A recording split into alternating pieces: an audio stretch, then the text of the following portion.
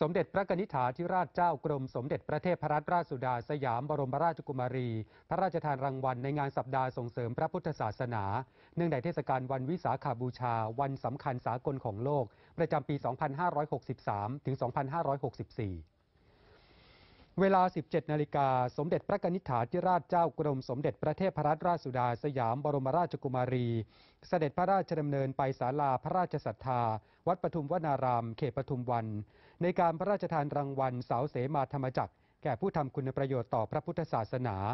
และพระราชทานโล่รางวัลชนะเลิศการประกวดสวดมนต์หมู่ สรรเสริมพระรัตนตรัยทำนองสรพันยะ ประเภททีม ประเภททีมโรงเรียน และนักเรียนที่ชนะเลิศการประกวดบรรยายธรรม ในงานสัปดาห์ส่งเสริมพระพุทธศาสนา เนื่องในเทศกาลวันวิสาขาบูชา วันสำคัญสากลของโลก ประจำปี 2563 ถึง 2564กรมการศาสนากระทรวงวัฒนธรรมจัดงานนี้ขึ้น เพื่อถวายเป็นพุทธบูชาแด่สมเด็จพระสัมมาสัมพุทธเจ้า และเพื่อสืบทอดวัฒนธรรมประเพณีเทศกาลวิสาขาบูชาให้ยั่งยืนถาวร และได้คัดเลือกผู้ทำคุณประโยชน์ต่อพระพุทธศาสนา มาตั้งแต่ปี 2525 เพื่อทำนุบำรุง ส่งเสริมพระพุทธศาสนาให้เจริญมั่นคงสถาพร และเพื่อเผยแผ่พระพุทธศาสนาให้กว้างขวางยิ่งขึ้น ทั้งยังช่วยเสริมสร้างคุณธรรม จริยธรรม สร้างคนดี สังคมดี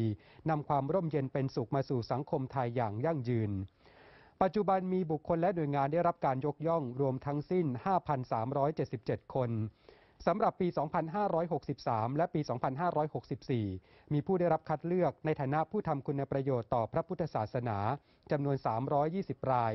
เป็นบรรพชิต 167 รูปคฤหัสถ์134 คน และหน่วยงาน 19 แห่ง